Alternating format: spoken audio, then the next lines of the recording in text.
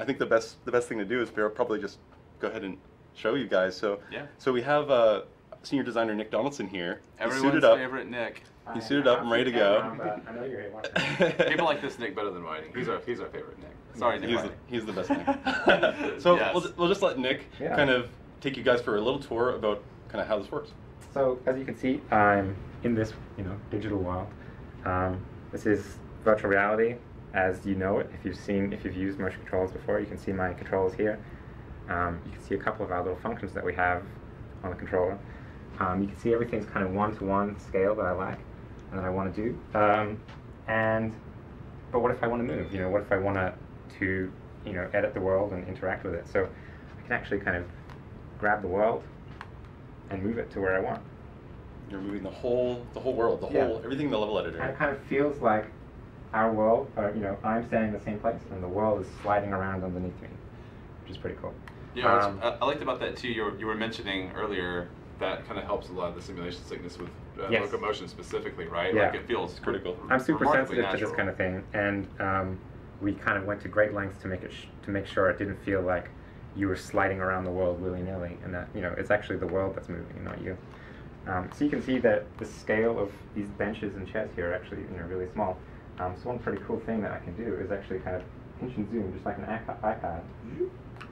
And now the world is this big. Now the world is that big. So you know, this is for me. It feels like I could sit on this bench here. Um, so we can kind of do the opposite as well. We can pinch and zoom this whole world down. Of grab here. And we can just kind of keep going until we have what feels like a, a tabletop game. You know, this between these two towers here is about two feet. You know, one arm's width. And so I can kind of slide the whole world around really easily. I can throw it along, catch it, kind of rotate the whole thing.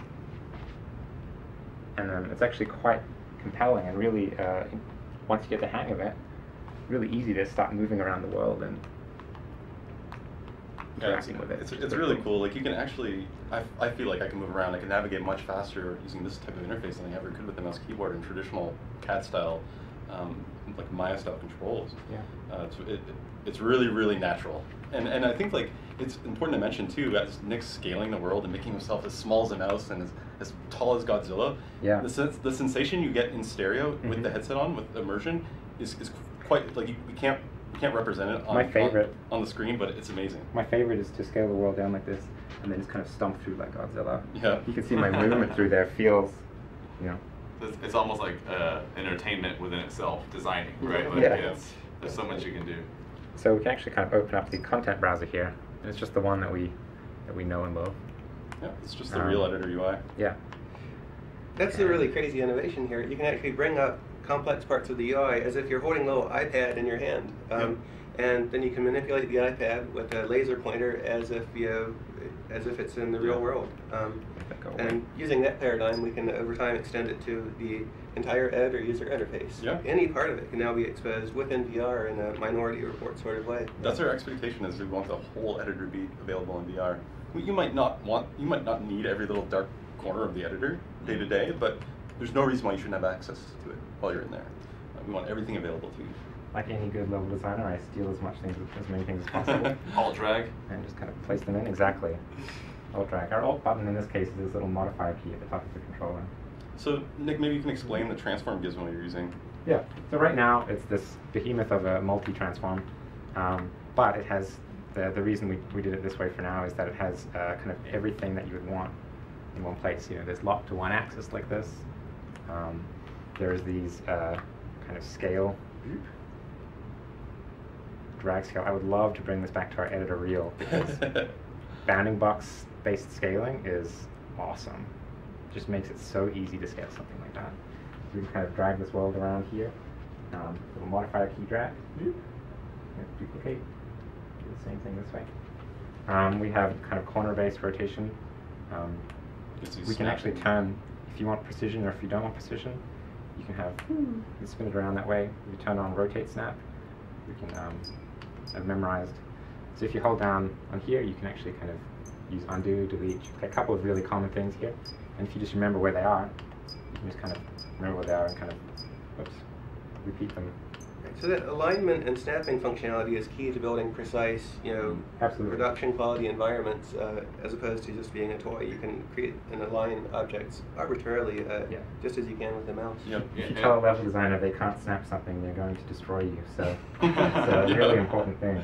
yeah, it was critical to that you can do real work in here, right? So we focused on precision. There's a lot of snap snapping assist. We tried to make snapping a little more fun. When we first implemented it, it would pop around quite a bit, just like any snap in any software. And we're like, ah, it doesn't feel right in VR because things can kind of like vanish in front of you, and it just doesn't feel right when you're immersed. So Yeah. we put nice transitions on everything, and you can see like he's Nick's using throwing gestures now and then. Uh, Just how it snaps a little bit like this.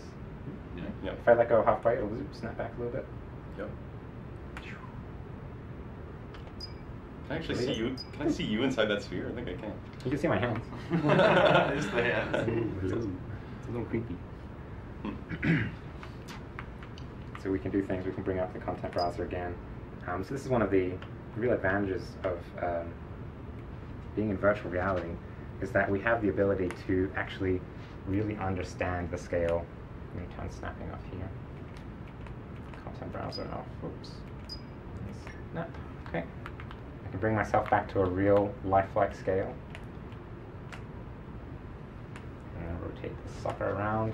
You actually grab it with two hands as well and do like a free transform. Yeah, this is kind of an interesting way to manipulate something, Yeah. right? It feels it's, it's probably the most natural movement Yeah. feature we have. Well, and, and that's something you had mentioned to me earlier too. Was like the the whole you already know how to do all this. Yeah. You know what I mean? Like you get in and it's it's not like you have to learn. You know, you kind of kind of know where the buttons are and where, where to find specific things. But you want to move that thing over there, you just grab it and you put it there. It's like moving a glass across a table. It, wa- right? it was, it was amazing. Mark Rein came to the office yesterday. He hadn't tried this before, and it was, I'll give him credit. This is partially his idea originally back in like 2013. He really wanted us to try making a VR editor. Um, and he came in and he just picked it up and he just got it right away. He's like, oh, so this is how I move the world. Oh, this is how I scale myself. It's like an iPad. Yeah, even a marketing executive can make a level. That's well, I just I wasn't expecting that, right? I mean, we are building this for level designers and, and, and serious development, but it, it actually improves approachability. Yeah, that's right, and that's what gives it kind of the magical feeling like the iPad. Your brain already know how, knows how this thing works because you've been doing it all of your life. Yeah.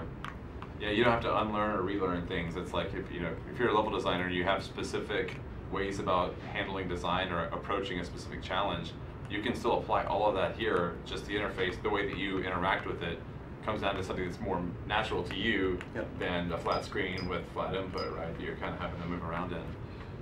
Yeah, it's a good way to put it. Yeah, it's totally the opposite of CAD software, where you have to learn a huge set of keyboard shortcuts and special mouse Mhm. movements, and try to map 2D mouse input into a 3D environment. Mm-hmm. One of my favorite aspects is when you bring it back to the real world scale. You make sure everything's kind of sitting right. Just look around the scene and see what feels it. good and what Yeah. doesn't, you know? Yeah. Those benches feel like they're a little bit. And this is one of the critical. Normally we would have to test in VR and then go back to the editor, then test in VR and go back Yeah. to the editor. Take put the head on, take the head off, put the head on. Yeah. Yeah. It really messes with your hair, you know? And, and, and we saw this like during Bullet Train development. Uh, Jerome and Nick and other guys who worked on the project constantly have to go into VR, make sure that they set uh, the metrics are all correct on the objects and they look convincing. It's an interesting thing about VR games. It's not like photorealism isn't enough to No. make you feel immersed. It's not. Like it needs to have the right metrics that you would see in the real world. Otherwise, your you, your brain's just like this is not this is not real because things aren't the right size. Yeah, and it's um, yeah, it's, it's it's it's always the, the case. I've played so many VR experiences where that's the thing. It's like, why am I so tiny? You know Yeah, I mean? I know. Like, I've built them before. It's exactly the same thing. Um, one thing, Mike, you were talking about earlier as well was the fact that you, know we have like the head tracking, the translational tracking. So you know Nick can actually walk around and look around something without having to move himself into space, right? Like you know, if, if you're if you're navigating in the traditional viewport with WASD and, uh, and the mouse, you can kind of go around something to make your edit, and then we'll move back this way. Whereas this is just like just peek move over and you grab the thing you Yep. need, you know, and you, you make that adjustment right there on It's, the fly. it's quite interesting. Like you can actually reach under something and select it. Like Yeah. you know, it doesn't even have to be in plain sight. You can you can like blind fire behind you and, and grab good things if you needed to. grab something and throw it. It's often easier to to work with things, especially at your hand height in kind of a model, trained model scale, and then you scale yourself back up to the real, and then you look, you know, that feels pretty good up there. I feel a little bit jammed in with just a visual prototype, but then I can pinch the zoom back down to my hand scale, That's kind of we'll make it. multi-select these. and delete. And That makes it really ergonomic because uh, you know right now you're moving around a lot in the real world. You know this is almost room scale VR uh, as you're currently doing it, but Yeah. you could also sit down at your uh, Oh, in your chair and uh, then be working on the level shrunk down as if it's a little architectural Yeah. model. I mean, you can move uh, all the way across this environment by scaling it down just a little bit flick of the wrist Yep. and back to here. I, I'm seeing some questions come across the chat, so I want to go ahead and um, just confirm. Like, this is the editor. This is not an exe that's bumped That's out of right. the editor. This is actual Unreal It's- Engine running. Like, they hit the play button and now they're Exactly. inside So. Yeah. there's a new toolbar button on the editor toolbar that launches you into VR, VR mode. It toggles instantly. You can go back and forth between 2D normal style editing and this seamlessly. It's just it's even faster Slap than playing VR to go back All and right, forth. the lights are probably my favorite thing in here, just pulling them out and placing And here's the exactly details where panel. you want them to be. Here's the light. Here's the details panel. I can scrub that um, temperature value you're changing the color. Oh yeah, temperature. from a warm light to a cool light. So we were surprised this was kind of a cool thing, right? When we got the UIs in here, we were like, "How is this is gonna work?" I'm not sure. Um, and we have we have some work to do to make it uh, even more usable. But surprisingly, like a lot of our editor UI, once we applied DPI scaling to it, make kind of big, make everything kind of uniformly bigger. Mhm. Um, you know, it's usable. It's quite usable. You can Mm. get and you can get to like we want you to be able to get to everything. Oh yeah, and so one of the other things we, we uh, didn't talk about before is that instead of, you know, if you don't want to have to grab and slide the whole world around all the time, you can also just kind of point and teleport over. Yeah, it's bullet train basically. uh, Yeah. Exactly. It's, it's, it's Link Snap. Uh, So now we Quick have Shot. this absolutely massive robot in front of me, so I can just kind of pinch and zoom him down so he's now a toy in front of me. I can grab his arms and rotate them. This, and turn off rotation snap, just like that.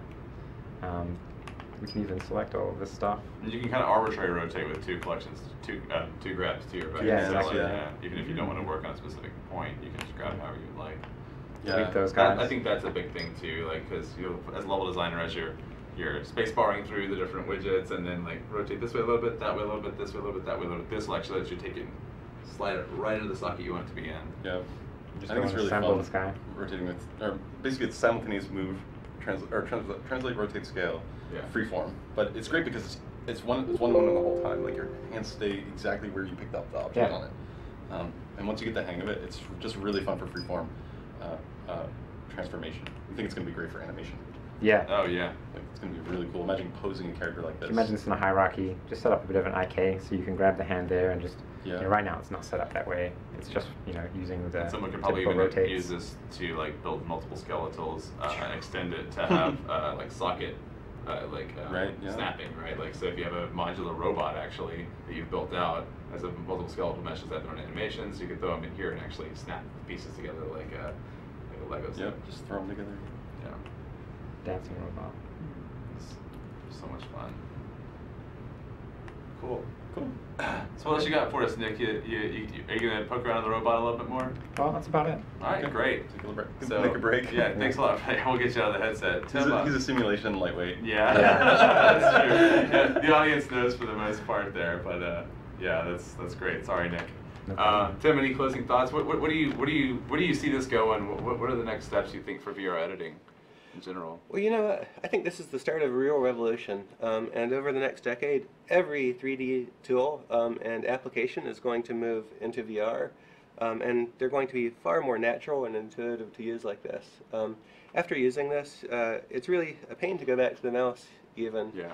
Now, uh, it, this isn't, you know, the final thing. Um, this is just the start of a journey. We have uh, some of the key pieces of the engine up and running now, and uh, we'll rapidly get other parts of it, uh, the editor, uh, implemented in VR over time. Um, and yeah, we're using this uh, to build stuff ourselves, so uh, you can expect it to evolve rapidly. But uh, just the, the feeling of it all is, is pretty wild. I actually have dreams about this, and uh, in these dreams, it's not like me sitting at a computer doing something. I am in VR. I am in that world, Yeah. uh, and uh, you know, when you actually take the headset off, it's kind of, kind of disappointing actually to be back in the real world where uh, you can't manipulate things all that easily. Yeah. So uh, it's a it's going to be a very exciting time for VR, and every generation as the hardware improves, this is going to get dramatically better to the point where uh, yeah, this is uh, this is going to be the future way of building everything.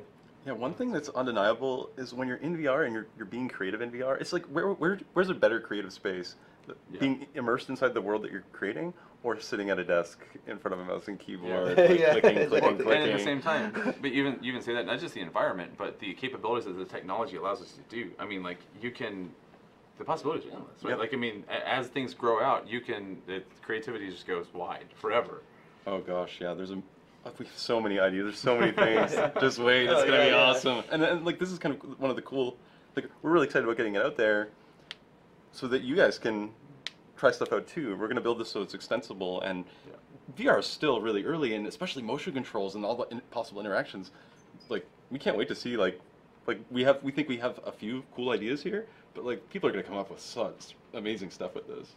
Oh yeah, It's gonna be awesome. It's insane. I mean, and it's kind of a funny irony um, that up till now we've been actually building VR content sitting in front of a mouse, keyboard, and monitor. Um, you know, uh, having used this now, it feels like you know Henry Ford uh, riding his horse to work uh, to design a car.